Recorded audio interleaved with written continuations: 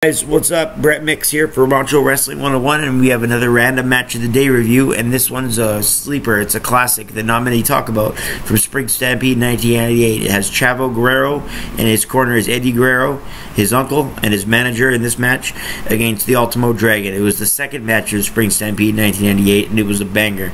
Before I get to the review of the match, I just want to say you can hit like and subscribe if you like my reviews. We punch out these videos daily, and we do a lot of old school reviews plus the new school. I'll uh, review Raws and SmackDown. So hit subscribe if you like that kind of stuff. It would help me get my channel off the floor, and I'd appreciate it. Back to the match. Chavo Guerrero, as I said, had Eddie in his corner, and Eddie was really hard on him in this match. Chavo sucks chance. Eddie Guerrero sucks chance. Eddie sucks was the actual chant name. But uh, Eddie sucks and Chavo sucks. The crowd would go back and forth as Eddie Guerrero would plug his ears and do all those great heel mannerisms to get at the crowd and Eddie Guerrero was very hard on Chavo, even when he was in the offense here. He started with the Ultimate Dragon applying a waist lock on Chavo and then into a front face lock, followed by a quick drop toe hold by Chavo into a front face lock armbar, and then it's your standard chain wrestling sequence to start a match. Uh, Kurt Angle and Brock Lesnar use these spots when they start a match. Also, Angle and Benoit from WrestleMania 17, I believe, started with this sequence. Uh, so the the dragon obviously had his leg grapevine by Chavo, but then he flips over and then he uses a headlock and he goes into a leg lock by bending his body like a pretzel. Great counter move into a side headlock, and then they both guys get up and the crowd, some members of the crowd cheer the wrestling sequence. They both get up though, and Dragon sends him to the corner, and then uh, followed by a drop kick, then a thrust kick, and these guys are not letting it out. This is a, these guys are letting it out everything they have. This is a great match here. Eddie Sucks starts as the chant, and Chavo pretends he doesn't hear it either. He hits two hurricanranas on on the dragon, stomps away at him. Such crisp offense. These guys with side headlock takeovers and just landing on the mat just excellently. I don't think that's a word excellently, but it was, just a. I can't be. I can't articulate the type of maneuver there. It was a great one. Ultimo Dragon then had, a, had an unbelievable surfboard submission hold as he like bended Chavo's uh, body backwards while pointing his knee right into the spine of Chavo, while he bent back and held him into the air. Uh, that was a great spot. The what was really great about this uh, wrestling uh, it, was, not just the chain wrestling it's the menu it's the counter wrestling.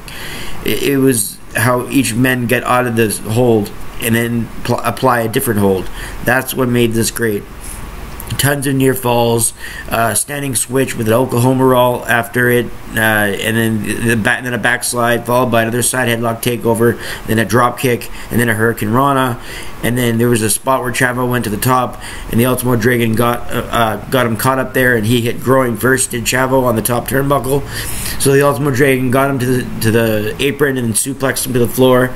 Then Ultimo Dragon hit a, a springboard moonsault onto Chavo from the floor and then they went back into the ring and did some more chain wrestling sequences. An enzuigiri by the Ultimo Dragon. Chavo tries to get him eh, as Eddie spots an opening as Ultimo Dragon is down and he because he kicked him in the groin. Eddie told Chavo to go get him at the time, but Chavo waited as the official said you can't attack Ultimo Dragon. He's hurt.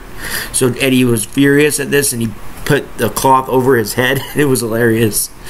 Uh, Chavo was distracted, but he he hit a move. He said, "That's for you, Eddie," as he hit a suplex. Eddie Guerrero's signature suplexes, and he said, "That's for you, Eddie."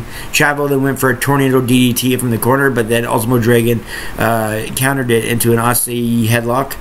Uh, an Asai headlock. I don't think I'm pronouncing it correctly, but anyways, Chavo taps at that hold at around 12 minutes in length. Eddie shakes his head in disgust. And what a hell of a match. Four stars before, and now it's four stars now. All day long, four stars for that match. A classic on the second match of Spring Stampede 98. It's a forgotten match. Chavo Guerrero Jr. versus the Ultimo Dragon. Four stars with the Ultimo Dragon going over and Eddie, and it furthered the Eddie and Chavo feud that would come in 1998 after this match.